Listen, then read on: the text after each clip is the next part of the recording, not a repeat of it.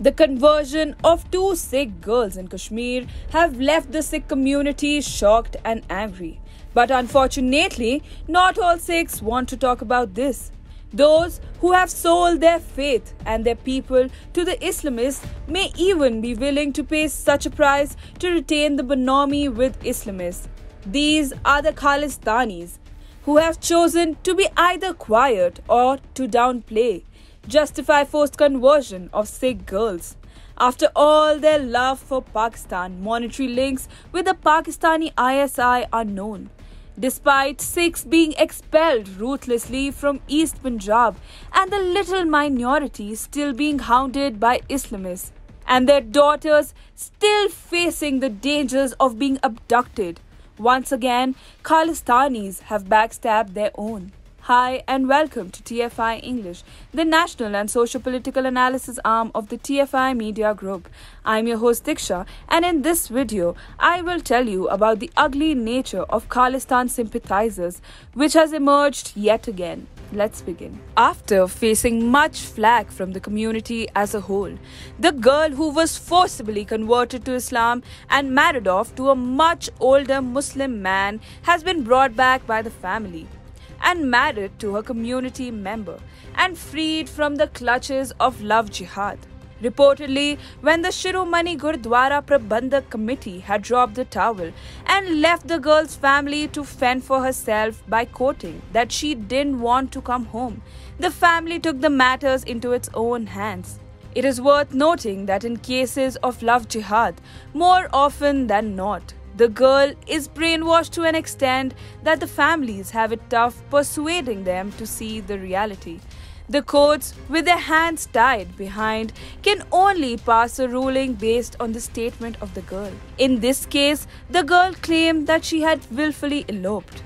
However, rather than making the girl and the family sit across the table, SGPC seemed more intent on making sure that the relation between Sikhs and Muslims stayed in place. SGPC President Bibi Jagir Kaur said, as Sikhs, it is the family's duty to educate and encourage their children to follow the Sikh way of life.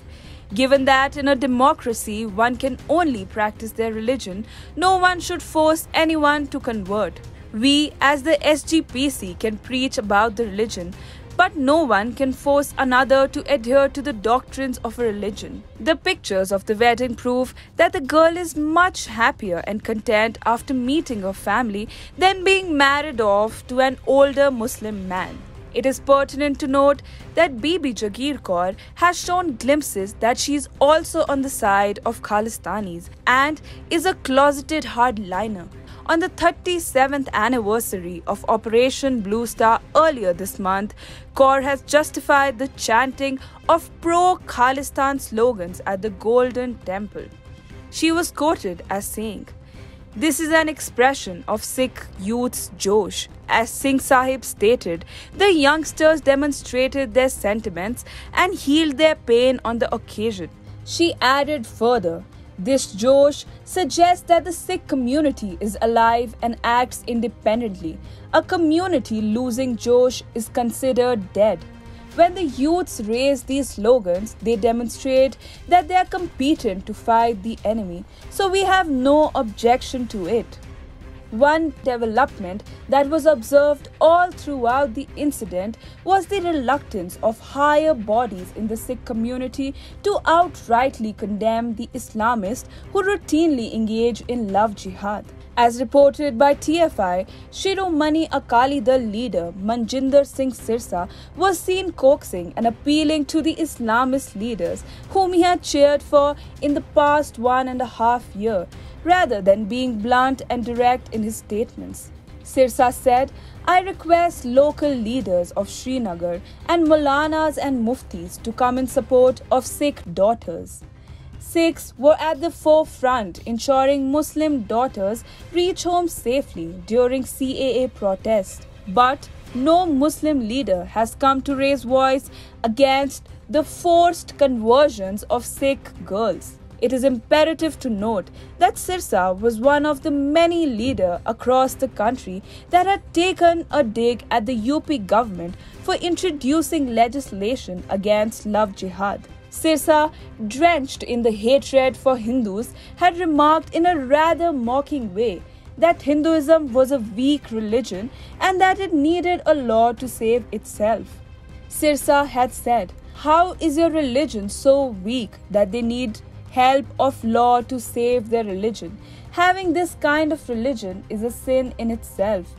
That means there are flaws in your religion. You must remove these flaws in your religion. The ones who are religious leaders have flaws. Remove them. During the anti CAA protest and the farmers' protest, members of the Sikh community, by and large, sided with the Islamists, often inviting them to the Gurudwaras to recite the prayers, served them biryanis, and gave them mind numbingly tepid slogans like Sikh Muslim unity. Ever since then, the Khalistanis who have dominated the space often masquerading as protesters, have toed the line of the Islamists. After all, a big chunk of funding for Khalistanis comes straight from Pakistan and its notorious terrorist elements.